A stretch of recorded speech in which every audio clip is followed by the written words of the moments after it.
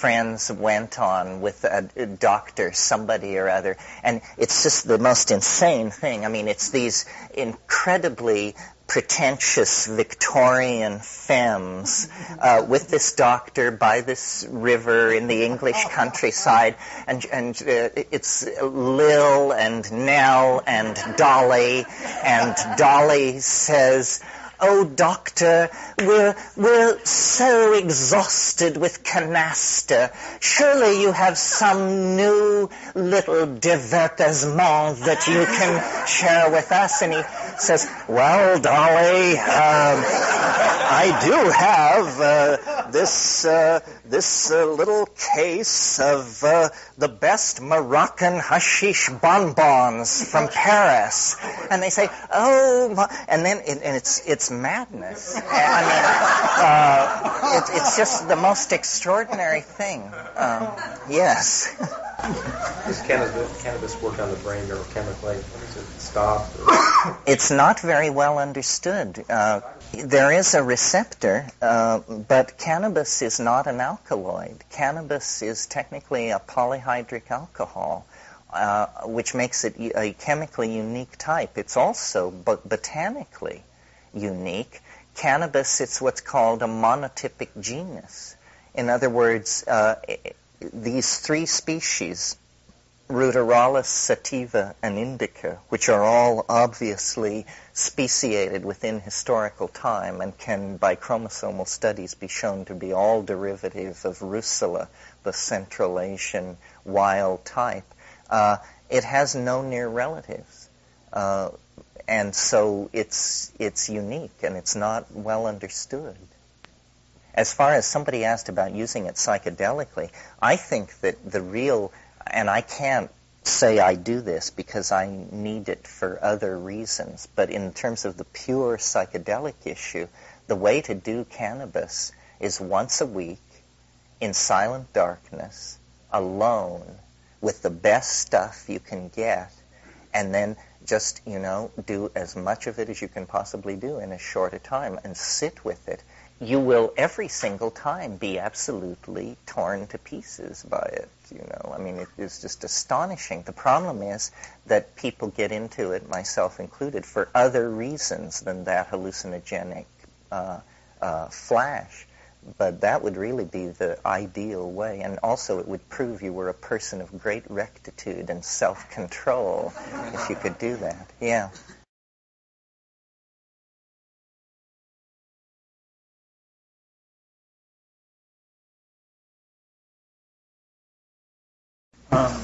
Of your books, um, you mentioned the idea of nostalgia for paradise um, as part of uh, perhaps the collective unconscious, um, and maybe that was formed during the psilocybin paradise period. Um, do you see um, in the in 2012 us having to uh, abandon that, or uh, will it be fulfilled by the well, this phrase, nostalgia for paradise, I, I don't know who invented it. When I, I first encountered it in Mircea Eliade's book, uh, Cosmos and History, which if you've never read this book, it's a little book.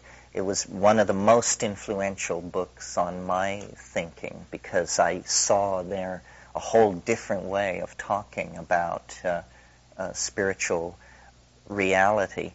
Uh, but I disagree with Eliade that it is uh, simply a, a, attitude in the human mind. I really think there was a, a fall, and that this is a diminished condition, and that there was some kind of cohesion that we do have this nostalgia for. That's why I think our whole relationship to drugs is all about the fact that I mean, look here. Here's the metaphor.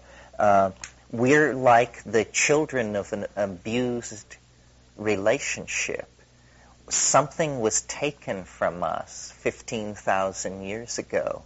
It was the thing which kept us in balance with each other, with the earth. It kept us in our imaginations, in the poetic world of natural magic.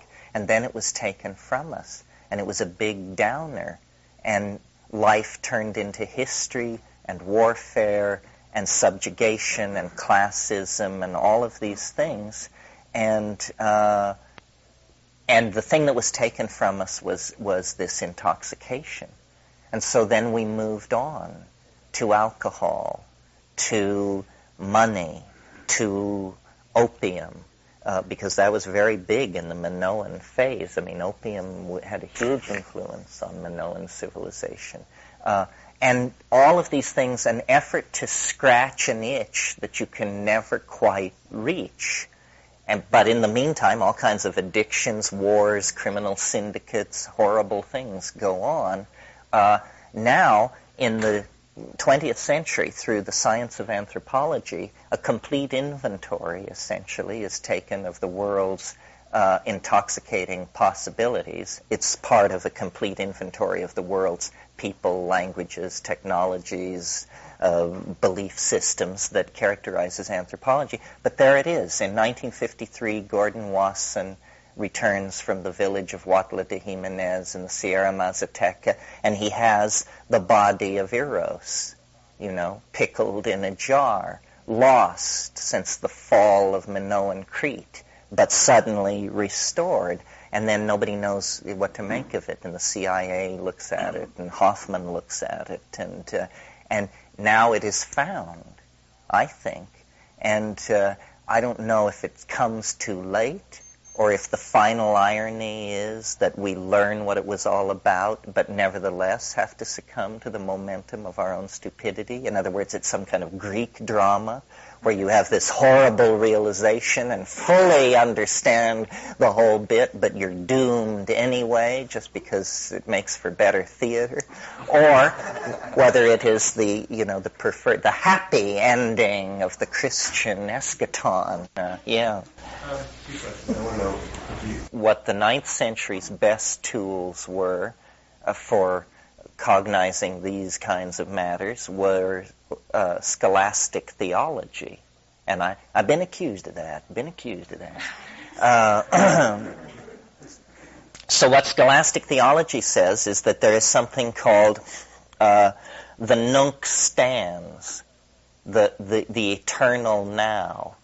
And that somehow, well, it, this all goes back to this wonderful thing which Plato said. Plato said, time is the moving image of eternity. And uh, my notion of what this is all about is that the time wave we looked at last night is, is eternity. It's the fractal structure of the temporal module viewed from a higher dimension. And then time is the traversing of that thing. The nature of the singularity is hard to anticipate. If you use the old fractal principle of ontogeny recapitulates phylogeny, do you all understand what that means? It, it's the phenomenon of that a fetus, as it develops, ontogeny, recapitulates the evolutionary history of life on the earth. That's uh, phylogeny. In other words, the, the fetus is first a little kind of a thing, an amoeboid mass of cells, and then it becomes sort of like a salamander, and then it becomes like a, a you know, a, a primitive mammal and so forth and so on. Well, using that principle to try and anticipate the end state seems legitimate in the fractal, under the fractal dispensation. However, it leads to the conclusion that when you look at an organism, what happens to all organisms is that they die. So then that, that leaves you with the conclusion that what happens at the end date of the of the the whole enchilada is the equivalent of some kind of mass dying. Well, then that really doesn't tell you much because we don't know what dying is, you know. We don't know whether that means that how can the ultimate novelty be complete extinction? It must be then that we have to overcome as positivists our phobia against this uh, area of speculation previously presided over by beady-eyed priests and actually take it back and say that in the mysteries of metabolism and morphology, it is perhaps now necessary to entertain the idea that death is not a nihilistic release into non-entity, and that instead the shamanic model is correct, and that biological life is a sojourn into matter, and that at death you know, you do go to some incomprehensible unfoldment, only the first moments of which can be made sense of. Because I really think the DMT thing is like bungee cording into the bardo. Uh, you, know, I mean, there you go, and then just as you're, it jerks you back, and uh, and so you get that much of a look into the yawning grave. And I take it as uh, it's strange, yes, but surely reason for hope and optimism. Uh, how much of oneself, whatever that means, is going to be carried over, it, I don't know, but it looks to me like probably not much. And, and that, but what lies ahead is, well, to, to quote uh, Bilbo Baggins, uh, the greatest adventure still lies ahead. I'm pretty convinced of that, uh, which surprises me because I'm a cynic and a, and a, you know, I'm not easily swept into optimism. My, yeah. Well, you just had a, a great little pre-echo. Your uh, analogy with scholastic theology lets us know what is going to be the defining event of 2012. The collected works of uh, Terence McKenna are published under the title Summa Mycologica. I'll take it. yeah. Um, what what cautions and reservations do you advocate in like this this dance with Kali? And I, I mean, we, we talk about the revival of the and and sometimes I wonder if we remember what we're talking about, and that, that in this in this possible great ecstasy there lies many horrors. Some danger. Yeah, I, I guess I'm I'm conscious. I'm constantly asking that question as I I've taken a four and a half year break from drugs and moving back in that direction and having consumed some mushrooms recently and, and wanting to like in this revival of, of, of the use of these substances, I feel like it needs to be absolutely reverent and to uh, and to be sensitive to um, to what I'm doing. Well, there the danger. I mean, as I see it, and I feel it very strongly, and I'm don't you know the danger is uh, just to put it out there is madness. I mean, we talk about stretching the envelope, we talk about running the edge, but you don't want to rip the envelope. You don't want to island yourself in a situation where nobody can make sense out of what you're saying. And yet, that's the game we play, is always pushing.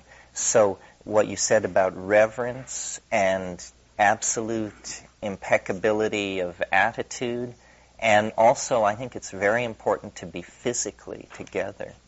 You know, I mean, I it's important to be physically together anyway. I go to a gym three days a week, and I think of it as pre- preparation for psychedelic voyaging. Because if your body is a clean instrument, uh, you can do it. The other thing is uh, technique. I mean, in the psychedelic state, if there are problems, there are techniques to deal with them.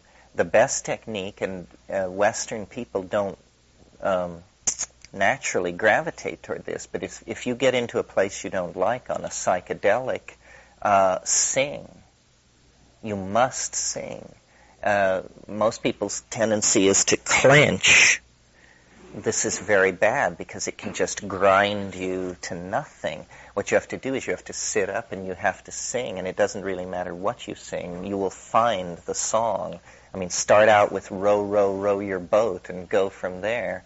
Uh, and uh, the other thing is, you know, the real issue I find in myself is surrender.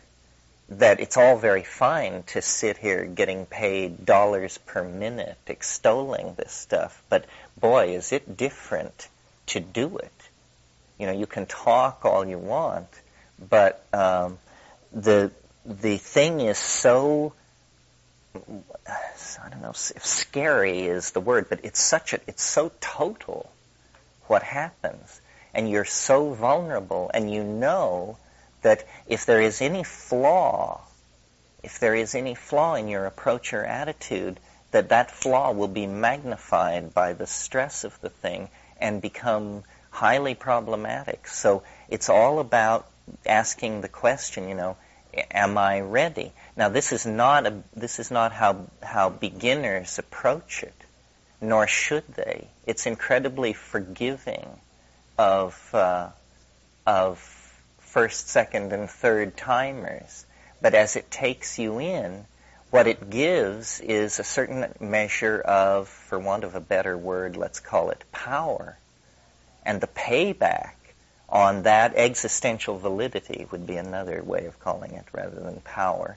The payback on that existential validity is that you have to be okay and you know maybe it's my Catholic upbringing or something, but one cannot do the examination of conscience carefully enough because there's there's always flaw. So it's about you know staying right with it. It teaches the right way to live and also surrender. That's why I don't ever have an agenda. I regard having an agenda as as essentially aspiring to be a magician of some sort. And I don't. I don't. I want to witness it. I am perfectly content to be present at the miracle. I don't want to do the miracle, and I don't want the miracle to be done to me. I just want to, to be there. Uh, Frank Herbert, in his book Dune, said something which over the years I've found, though it sounds flimsy to say, it actually works. You, some of you may recall that in that book they had this drug called Stroon, and it did pull you out through time. It was not just a drug. It, it revealed, like I'm saying psilocybin and DMT do, uh, the real structure of reality. And in there, they discuss what do you do about the fear that comes with the, the gigantic, awesome dimensions of this vision. Uh, and he says, uh, or someone tells uh, the main character, fear is like a wind, and it blows through the mind. And what you must do is you must wait. And it cannot sustain itself unless you give it an object. And uh, this is actually true, I found, that fear, whatever it is cognitively, physiologically, it's a chemical wave of release of adrenaline. And what you do is you just sit and watch it come like a bell curve and then recede, and then you're still on the surface of the ocean and the power of it has been defeated. But if you if you give it any object to cling to, you know, it will break white water and then the chaos will overwhelm you. Yeah. Oh, yeah. Okay. I was wondering if you could talk about the difference between um, psilocybin and ayahuasca experiences. I'm, I'm particularly interested. I heard you talk once about how the value of those value in, for instance, the psilocybin experience and more technological and you know get ready to depart the planet kind of value, whereas ayahuasca is more save the planet. Feminine. Yeah. Yeah, I mean, somebody once said to me after they took a mushroom trip, they said, I don't think I'll do that anymore. And I said, why not? And they said, because I'm not interested in insects that drive spaceships. Uh, uh, which sums up psilocybin pretty well. Uh, it, psilocybin is Apollonian and hortatory and grandiose. And it's interesting that they have these personalities. I mean, psilocybin is, is kind of megalomanic.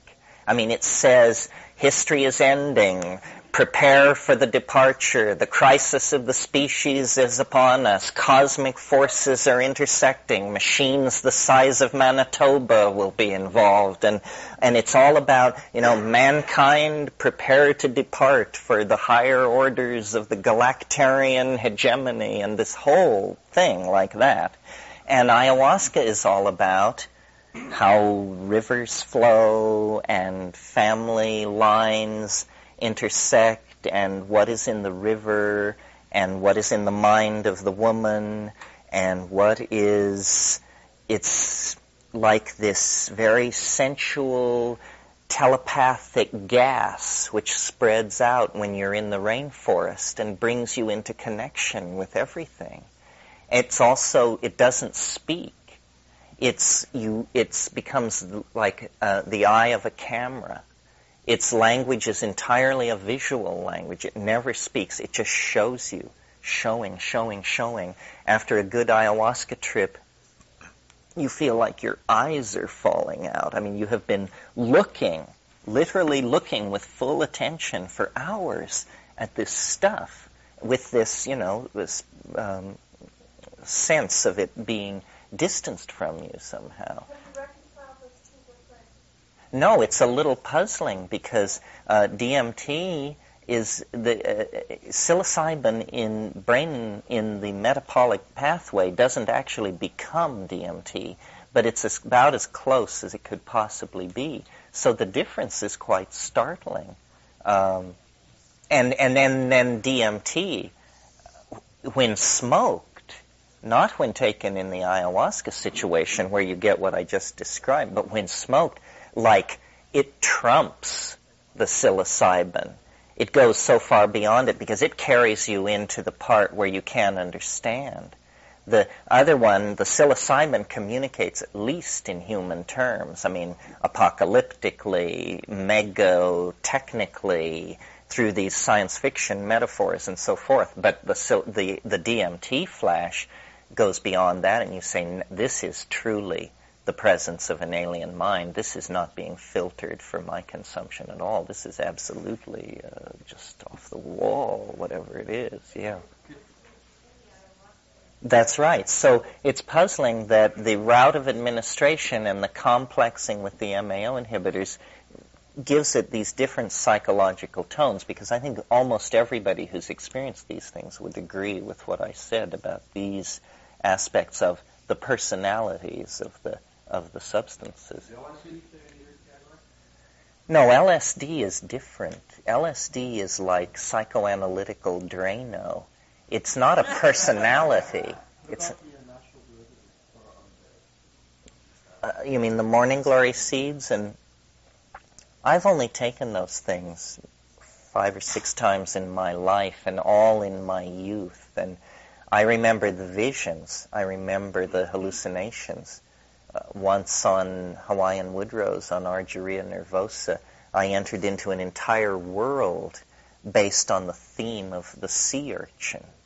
And I was in these cathedral-like vaulted spaces, which were the insides of sea urchins. And then there was this coach that was pulled by by these very strange-looking animals, and it had these nipple-like protuberances all over it, and everything was done in mauve and purple and white, and it was just sea urchin world for about 20 minutes, and then that went away. Could you explain? Um, and I know this gets back to a basic premise and, what we've been talking about the last couple of days, but elaborate a little more on why you conclude that these hallucinations are in fact true hallucinations. In other words, why do you conclude that these alpha-like entities really exist? Well, really exist. True enough. We we talked about that, didn't we? About the Wittgensteinian thing. Did we? Yes.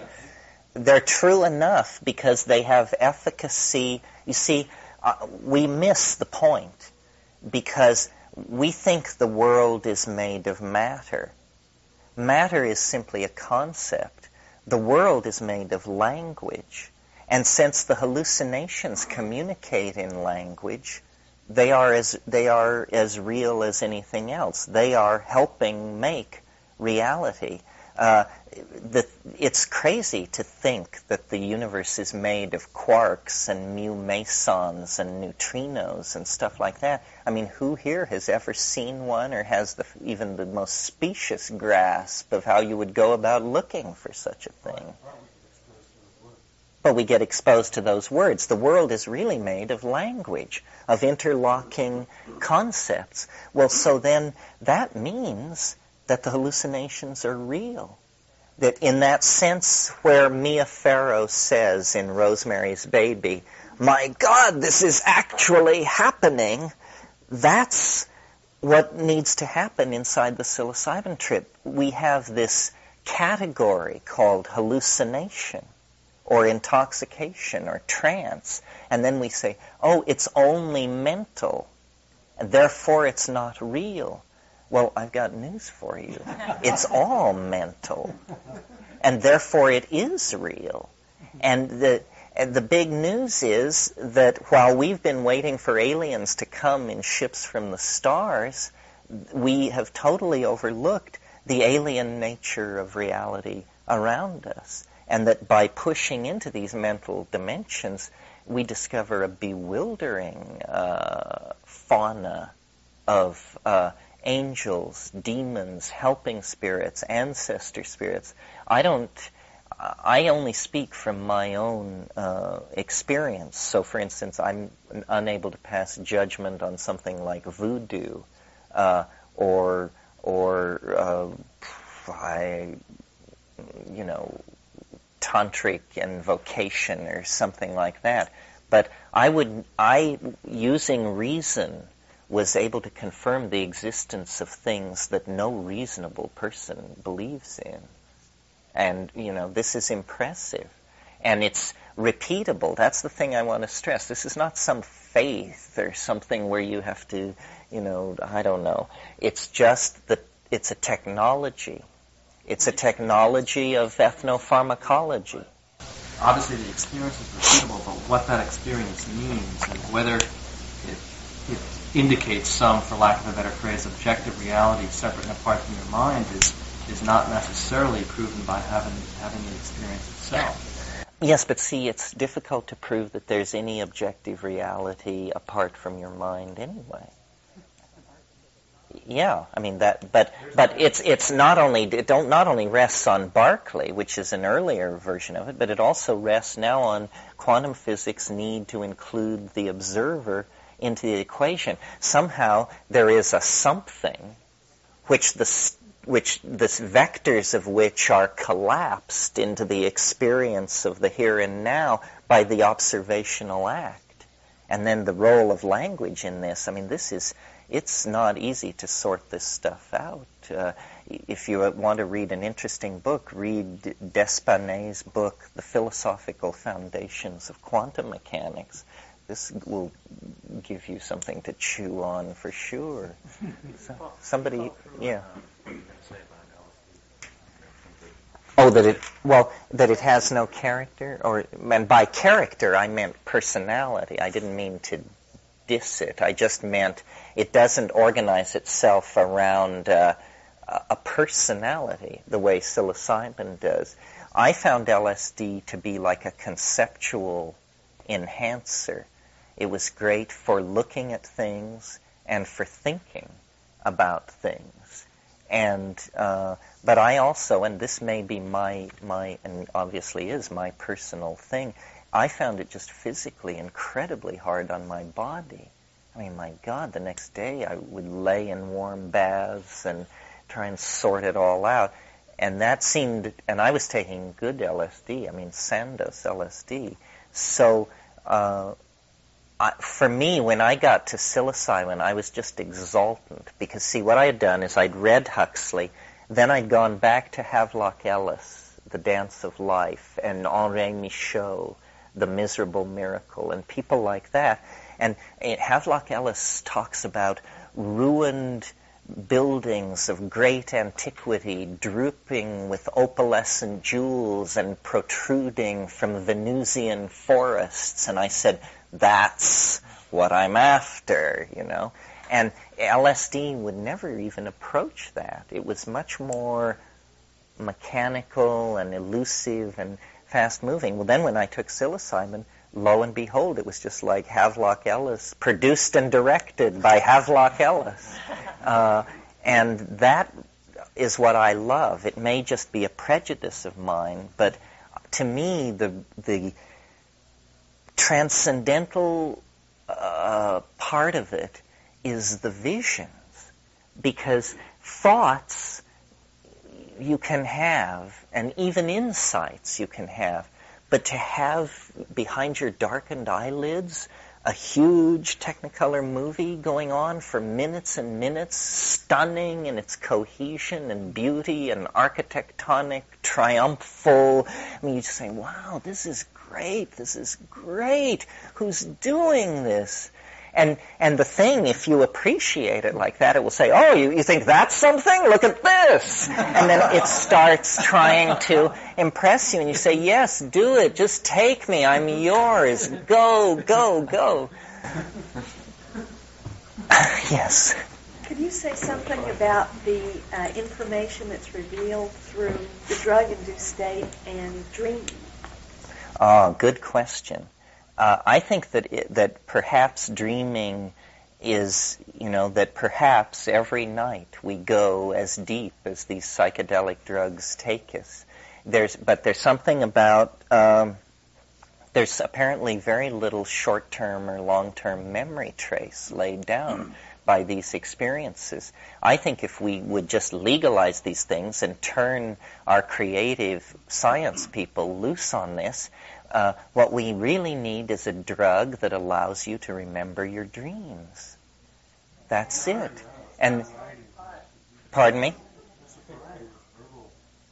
Well, we have the concept and we have claims, but I mean one that will work for me. yes, that's uh, that's a good point. The one argument that I feel the force of against cannabis is that uh, it completely suppresses dreaming. I well, it's it's debatable. My I think that because it's a boundary dissolver, that I have sort of a pressure theory of dreams, and that somehow cannabis depressurizes the dream place because you deal with this material in active fantasy. But boy, if you stop smoking if you're a regular cannabis user and you stop smoking, within 48 hours you will have dreams that will have you on the phone to mother. I mean, and it goes on and on. Uh, I stopped smoking cannabis about a year and a half ago for four months, and uh, these it, what finally sent me back to it is the dreams convinced me I was losing my marbles and enough of making a point, you know.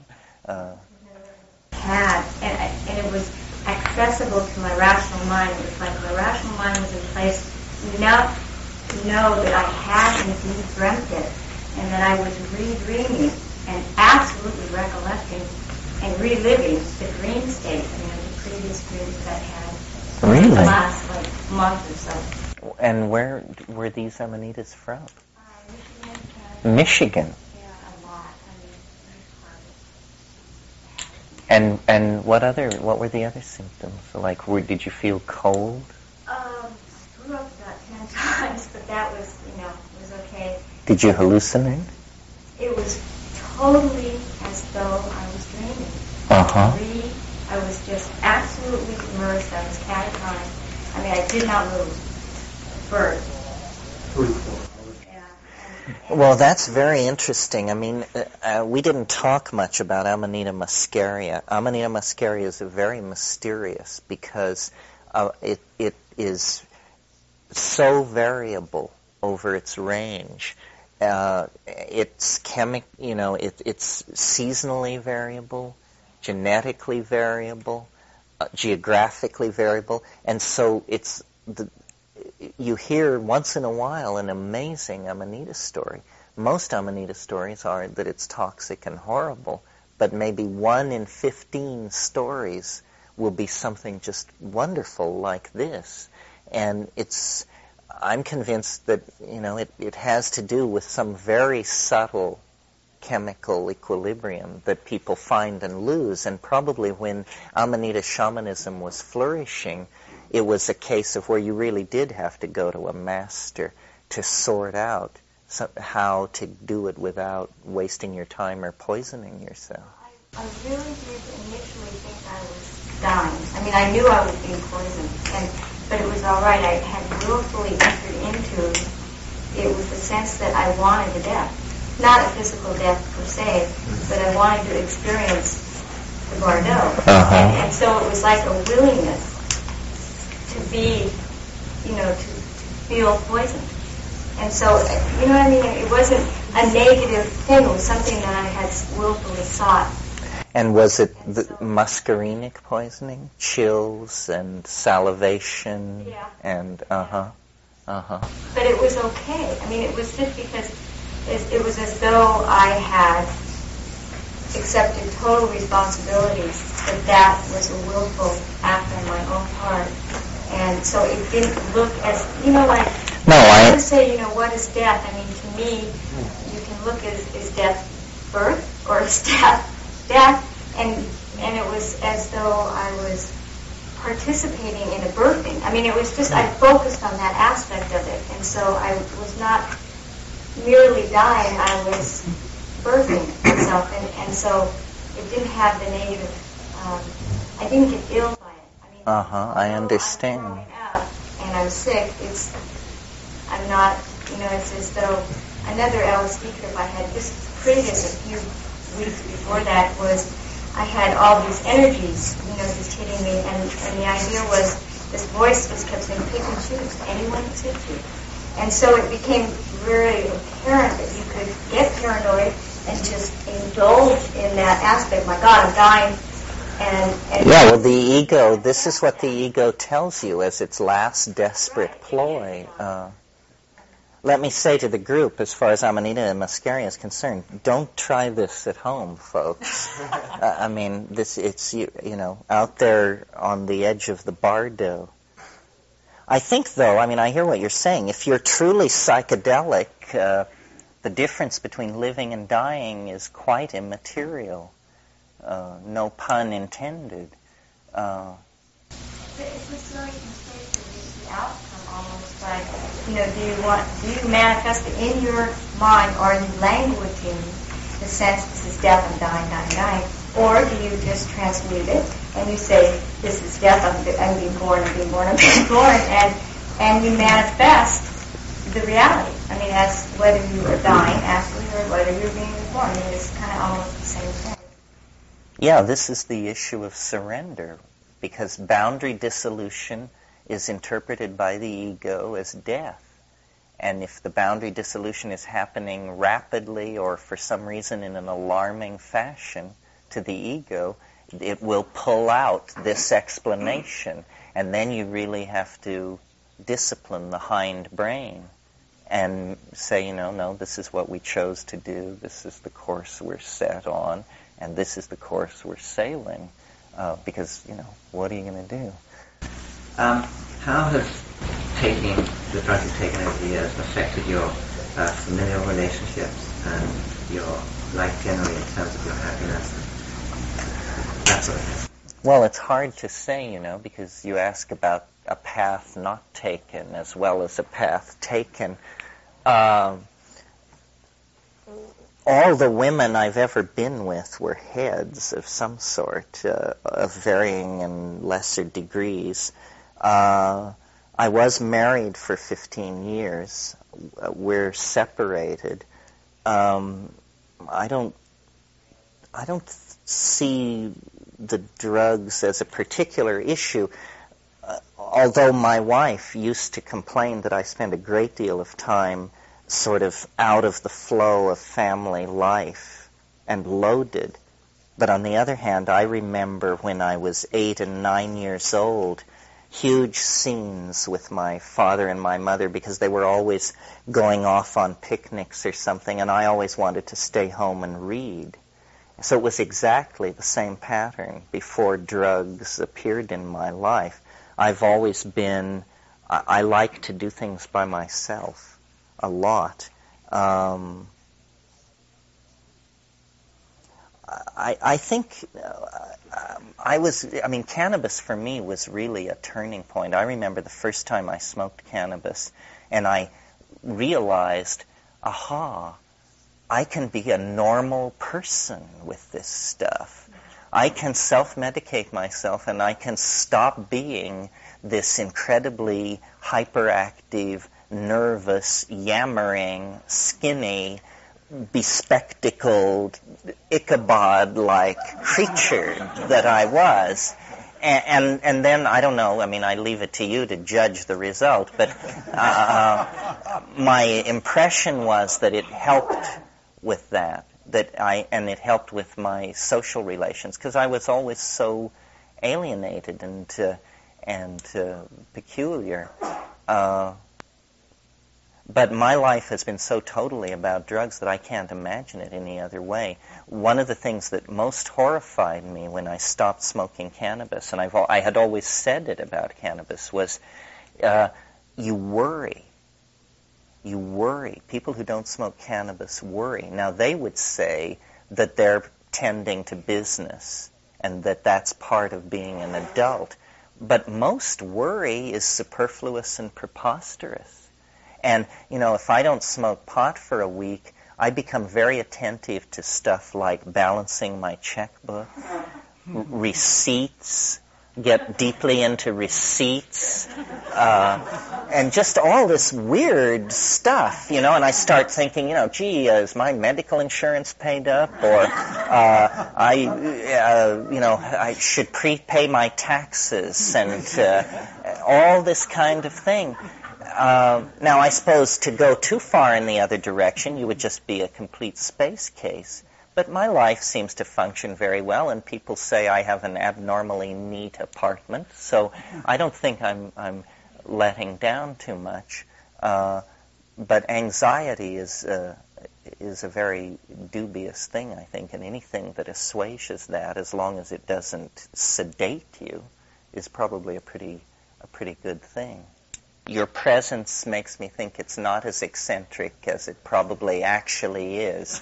So I appreciate your contributing to my own delusional uh, state. I hope you found this information interesting.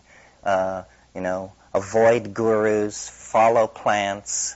It's like Van Morrison says, no guru, no method, no teacher. Just you and me and Mother Nature in the garden in the garden, wet with rain. So thank you very much.